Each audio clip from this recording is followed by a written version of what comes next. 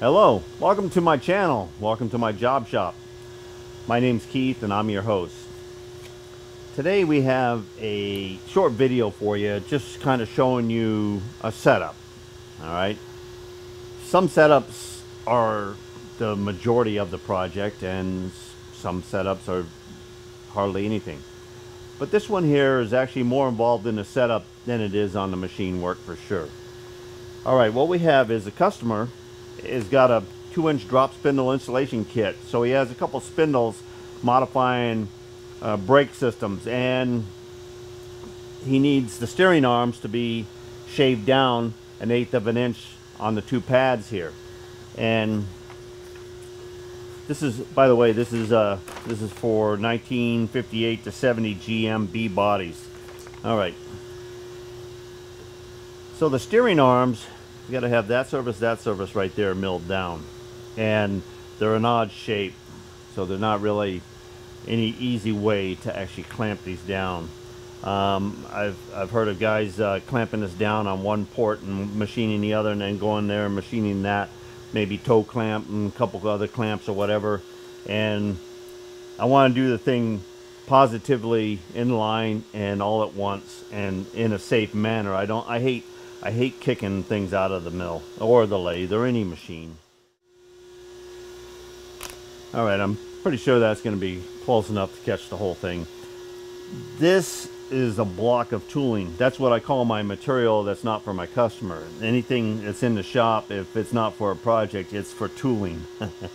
so we had this chunk of square. I didn't even have to cut it off the length. It was in the it was in the bend just like that. I did hit it on the sander just to dress off the sides.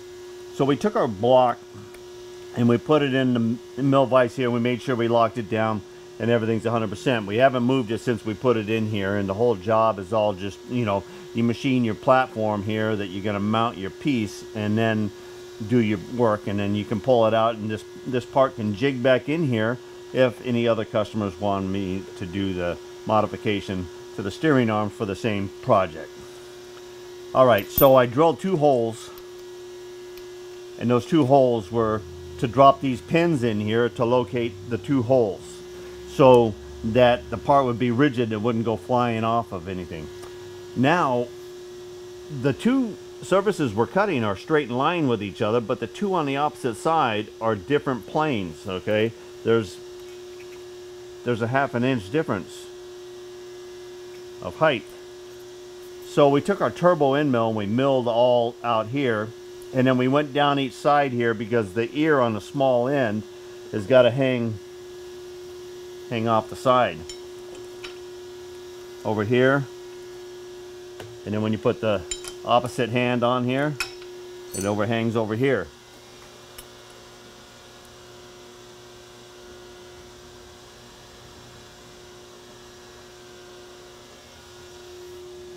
In fact, I'm going to go ahead and I just noticed right there and there. This is just a rough surface there, but that one there looks like it might be even making contact yet. Let me see on the side here.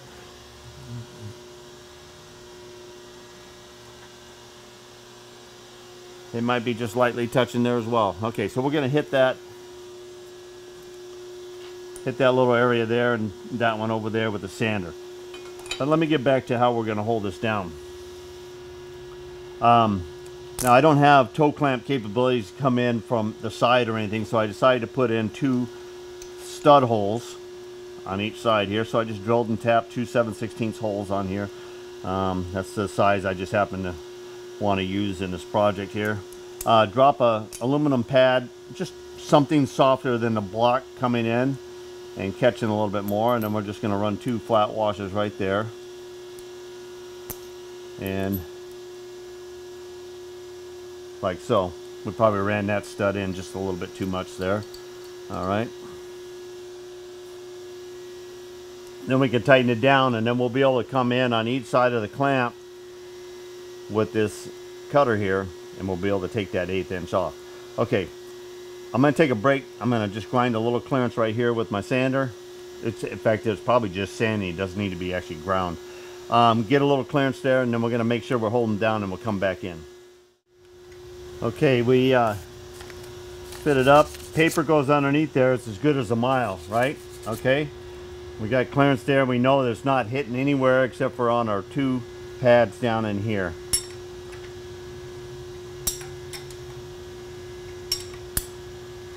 There we go. That thing is stout.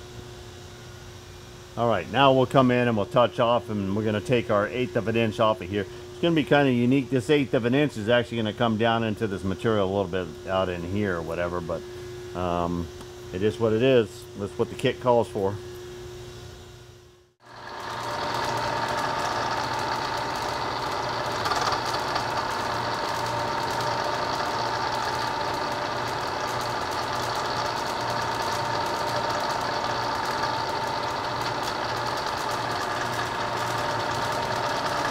Okay, we're to mark that off as zero.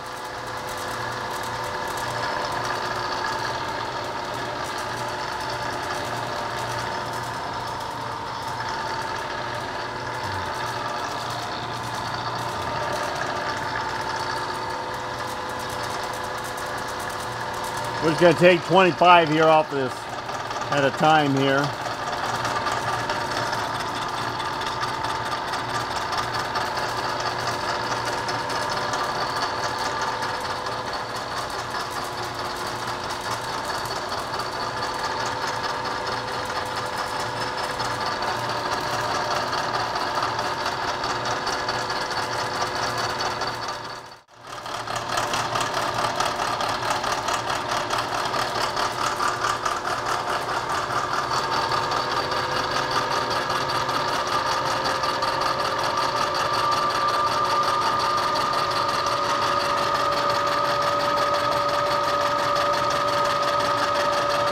Sounds a little better.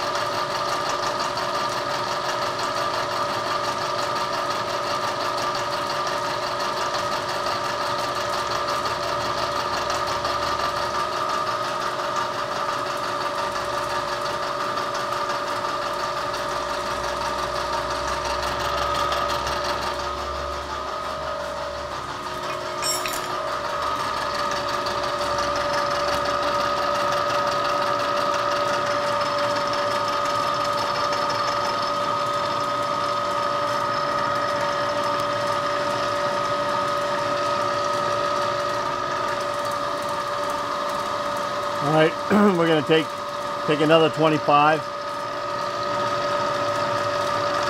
We don't need to punish it. It's giving a pretty good finish right there.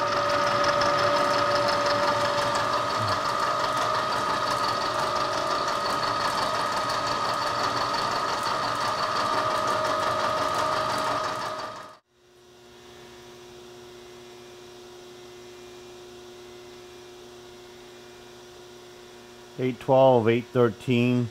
So we got about 22 thousandths for our final cut. And it's been taking 25 each pass, no problem. and looking real clean. And uh, I'm getting a mixture of uh, skipping uh, the cut as it's going across. So my head's pretty well trammed in. I remember tramming it in. And, um, and of course, you always notice that with a, a shell cutter or a wheel cutter. And it's going to be well uh, close enough for this project here and we'll take this surface put it down on the lapping pad over there and just kind of touch it off when we're all done to deburr it all right Here we go, 22 thousandths for a finished cut here.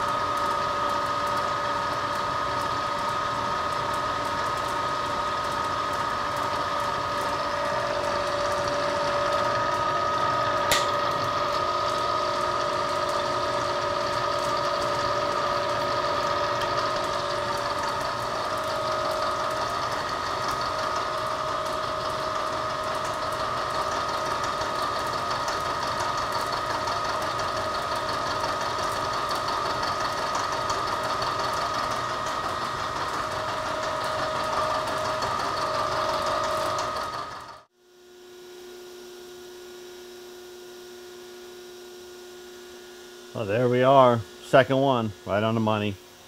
Within within a thousandth.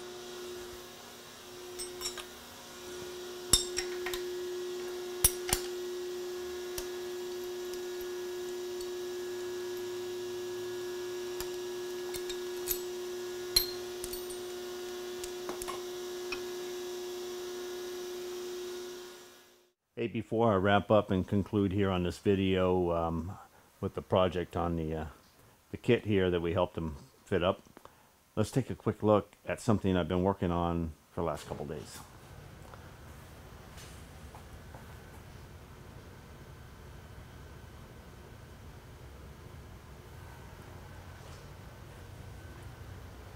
All right, you know, I set up and I was doing the scanning on the handles and I made a couple practice prints here. That was a long handle. And here's the short handle. I printed in CPE material uh, just to get the feel of printing these parts and I, I print them laying down on my table like that and like that. This one here was about a day long. This one was about a day and a half long uh, as far as printing them. And I was checking dimensions and kind of looking at the fill and everything else I have to put on the back side.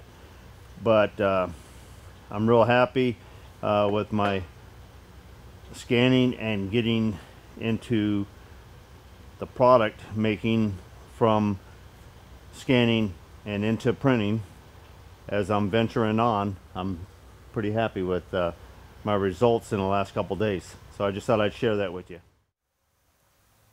All right, we're pretty happy with those.